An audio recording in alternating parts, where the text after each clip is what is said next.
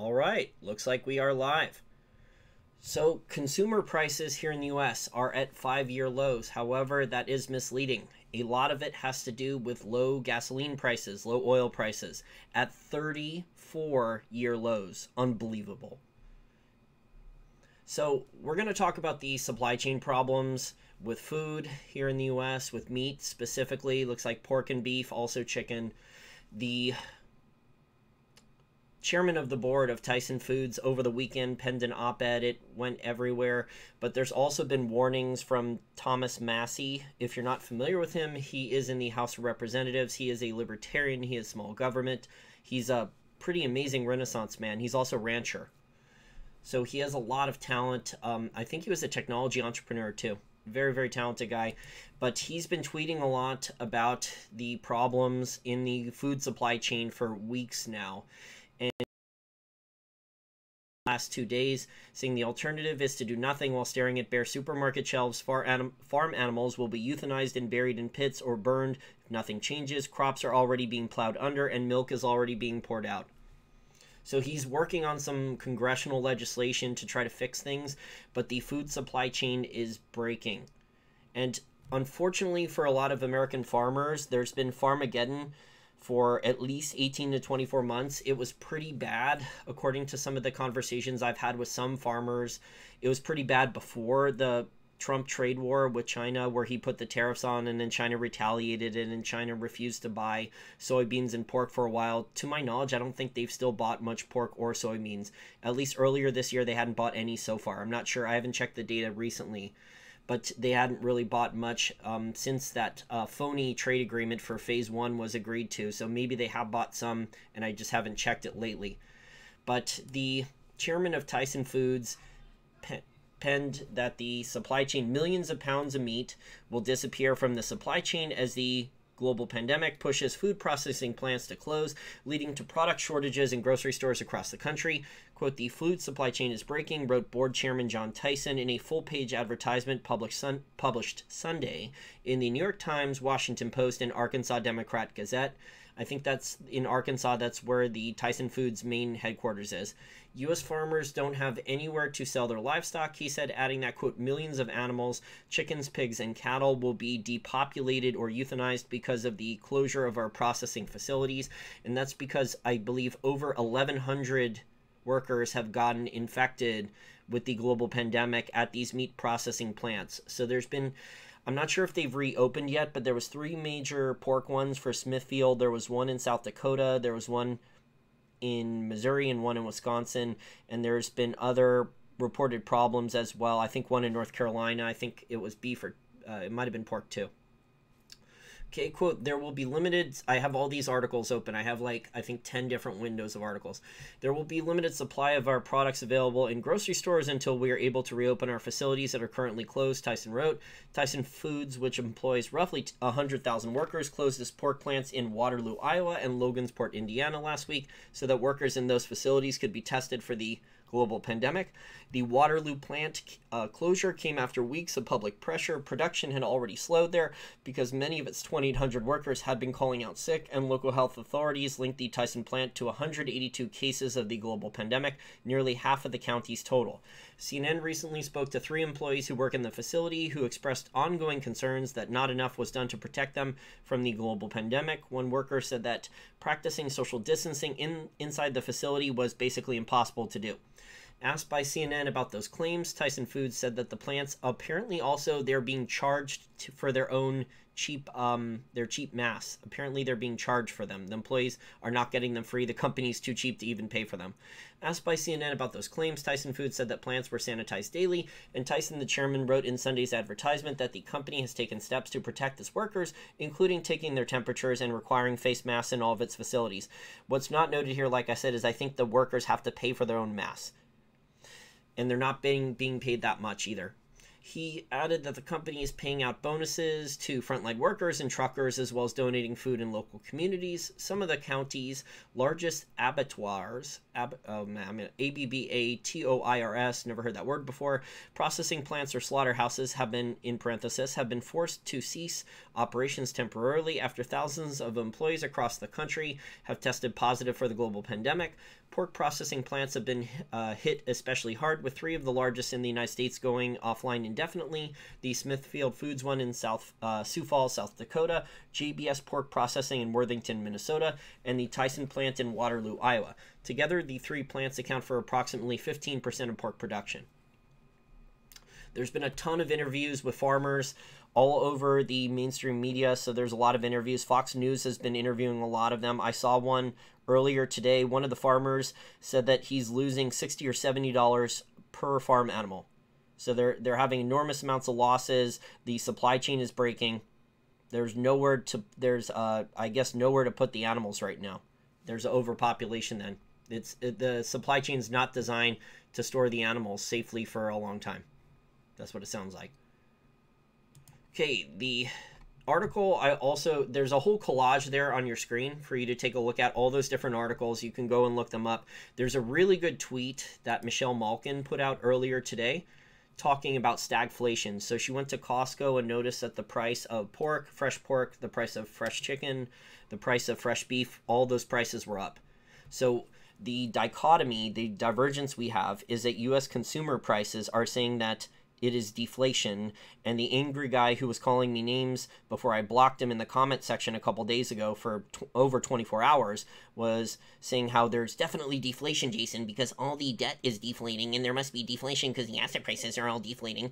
And I was like, look, dude, meanwhile, what is your grocery store bill telling you? So it's not pure deflation okay there's a it's a weird distorted mix because of the global pandemic central bank intervention government intervention um, government screwing things up, rules, regulations, as Thomas Massie, Representative Thomas Massie is talking about. These distortions, these problems are creating stagflation in the supply chain for food, especially for meat, from what it looks like.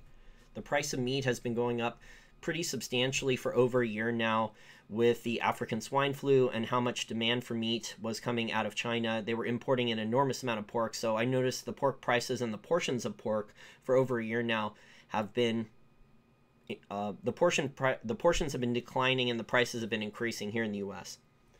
But Farmageddon, the farmers were dealing with this for well over a year now with the tariffs. There was a lot of Wisconsin dairy farmers that have got that went bankrupt all of 2019, a record amount of them. That was because they were not able to pass on their cost increases to the customer.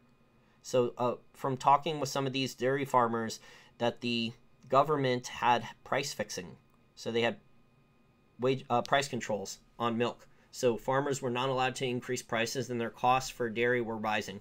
So it was no longer profitable for a lot of dairy farmers and that's why you had Dean Foods and Borden Foods go bankrupt.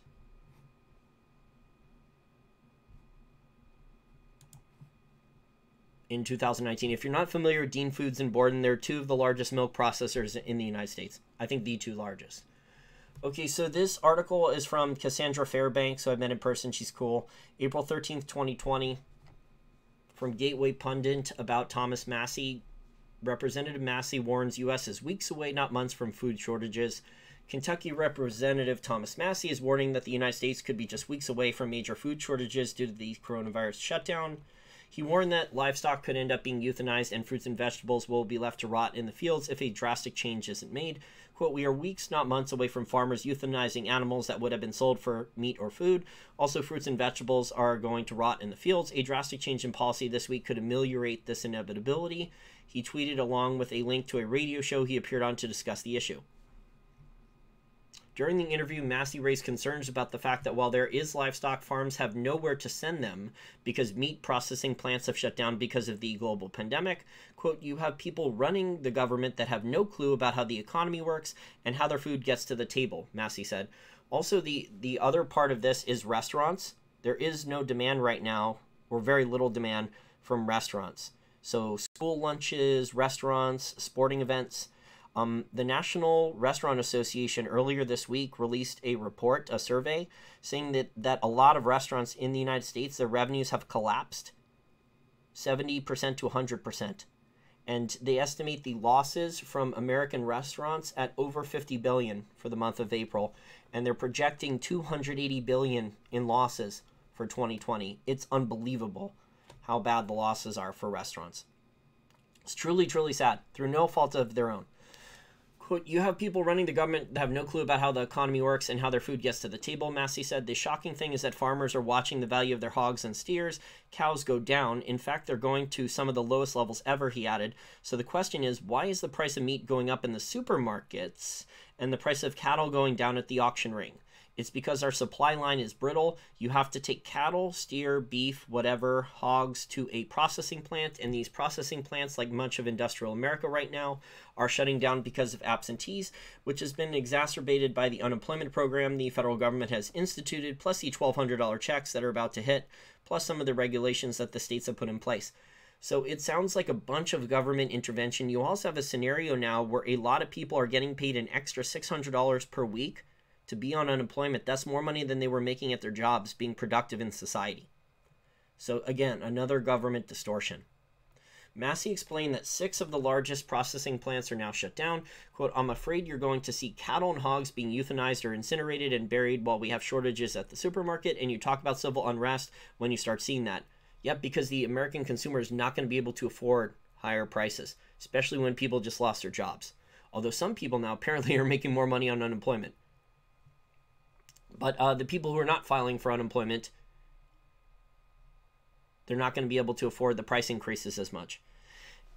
Okay, and that's uh, and it's all because of the brittle food supply chain. He said the Kentucky representative said that he has also introduced a bill to help prevent a shortage.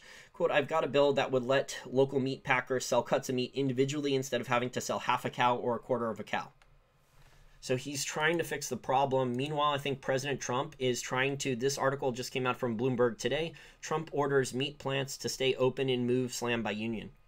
President Donald Trump has signed an executive order that compels slaughterhouses to remain open. That sets up a, sh- a showdown between the giant companies that produce America's meat and the unions and activists who want to protect, protect workers in a pandemic. Meat processing plants around the U.S. have shut down because of the global pandemic, but Trump said in the order that, quote, such closures threaten the continued functioning of the national meat and poultry supply chain, undermining critical infrastructure during the national emergency. Sounds very, very similar to what Herbert Hoover and FDR did, unfortunately during the Great Depression. Using the Defense Production Act, Trump is ordering plants to stay open as part of the critical infrastructure needed to keep people fed.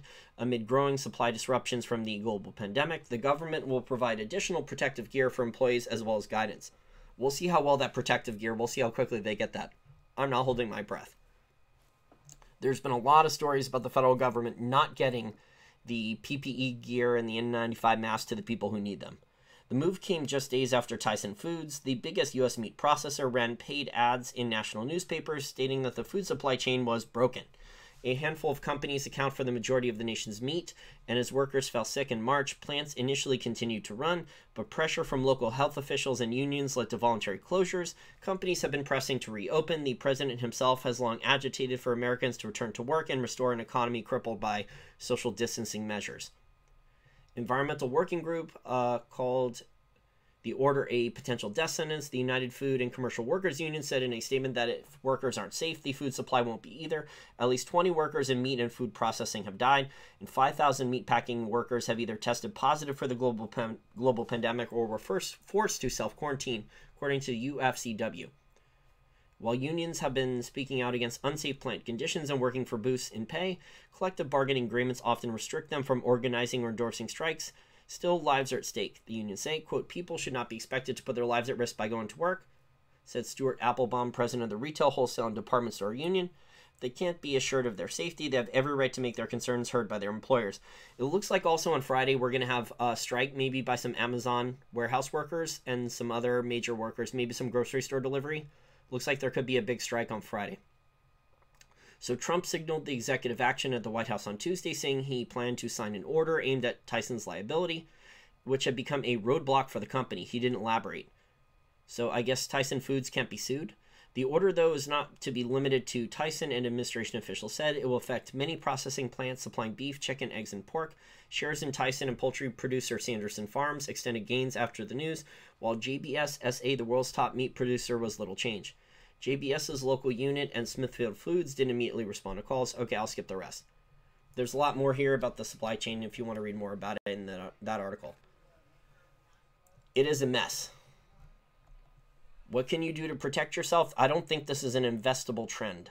I think you can protect if if you're keto or paleo, you might want to figure out how to stock up. You might want to start speaking to some local farmers. Might want to add in a second refrigerator in the garage or basement. Or freezer. Refrigerator and freezer combo. What a mess.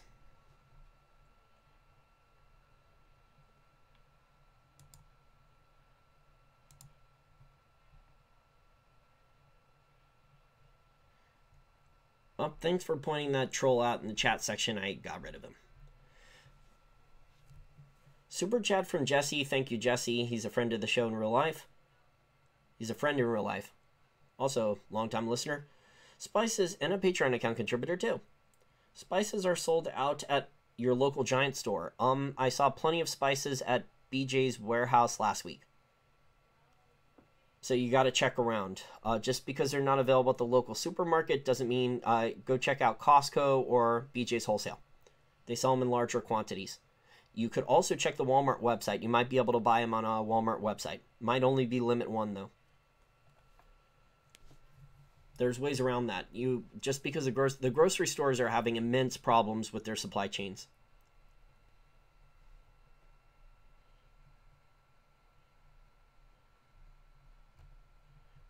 Scott says, wouldn't it be in the food company's interest to give the workers the mass? Yes, one would think. But it seems like they're trying to cut corners. Profits over people. Sucks. A lot of these large companies do that.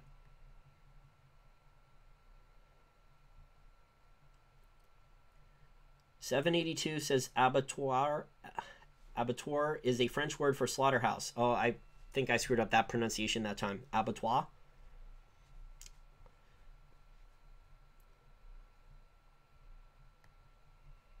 You want to short the USO? oh, you want to short the USO. I wonder if they're going to ban that. After the USO crashes again, I wonder if they're going to ban shorts.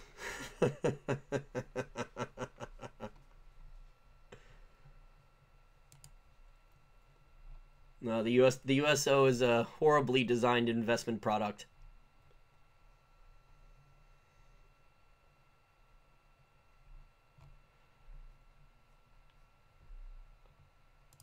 Uh, that's too much information, dude. Oh, I'm not drinking right now. I have water. The last time I had a light beer on a live stream, I had one guy send like five or six messages below one of the videos accusing me of being an alcoholic. Just ridiculous.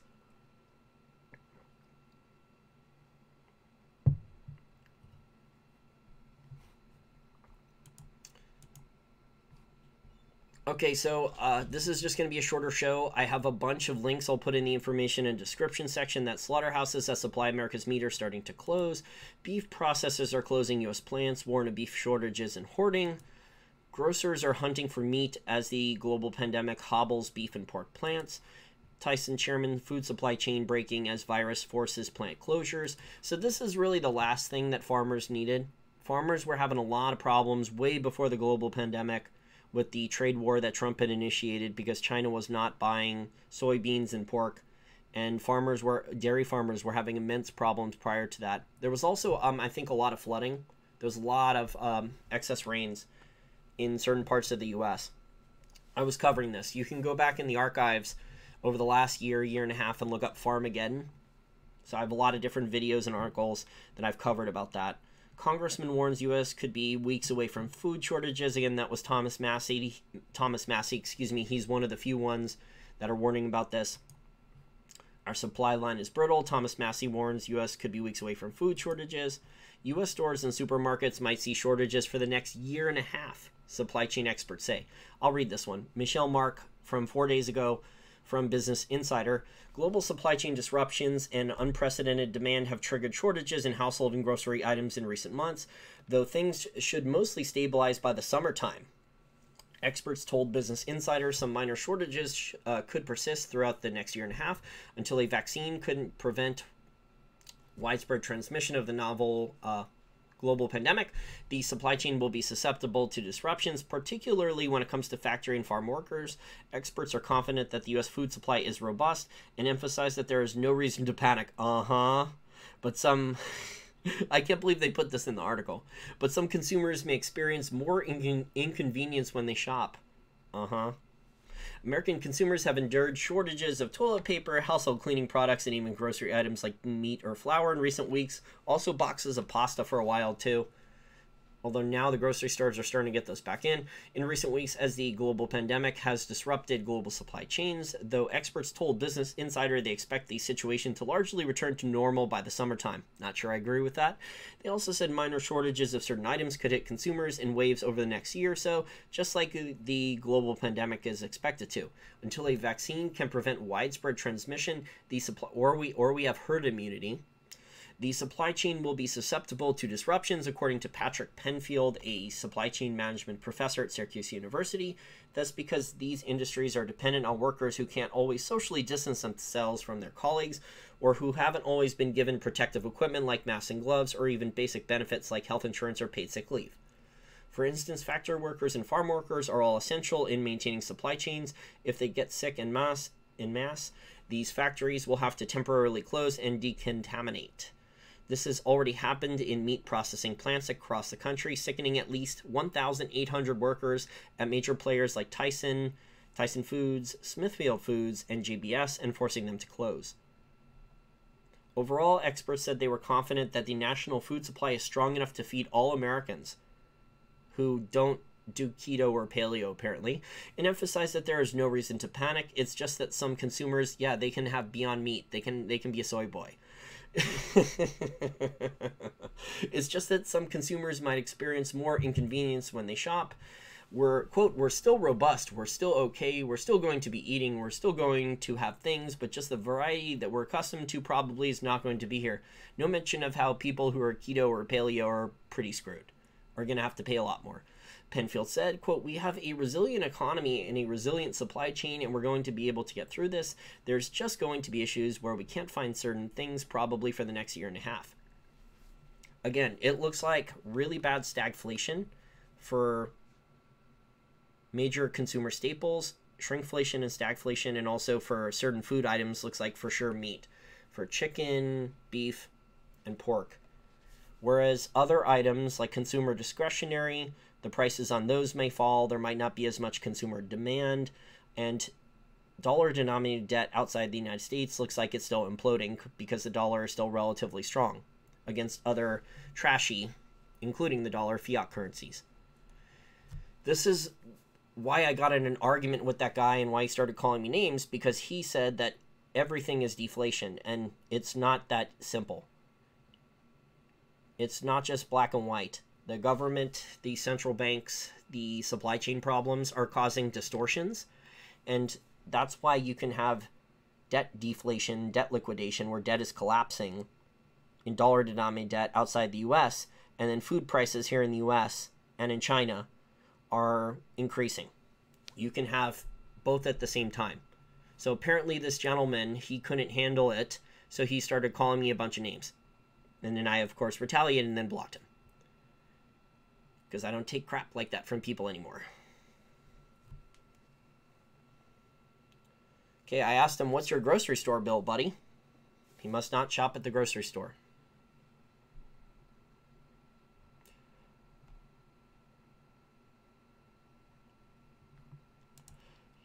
Gary says this shitstorm is just getting better and better. When they tell you it's okay, get to your bunker. Dude, I was just kidding about soy.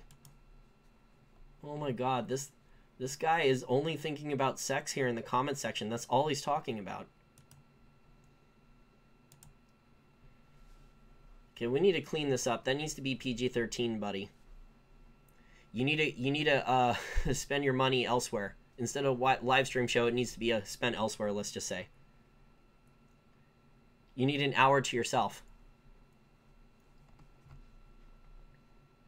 Okay, I want to thank everyone for listening to the live stream show. All the articles discussed will be in the information and description section. There are a lot of them if you want to go in depth.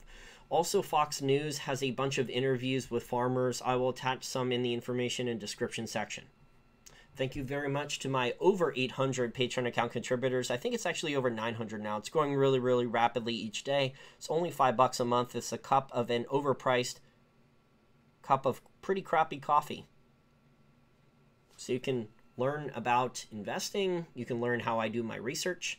You can learn how I think and analyze companies and industries behind the paywall. There are a lot of articles about the oil industry, oil companies, um, gold and silver companies. There was a really lengthy piece I put out a few days ago about the uranium market and the major risks that a lot of investment professionals aren't talking about.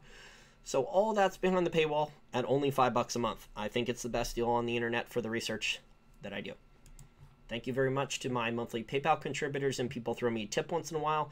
You can donate on my website, or you can. Uh, there's crypto addresses uh, below each video in the information and description and description section. Okay, everyone, have a nice night.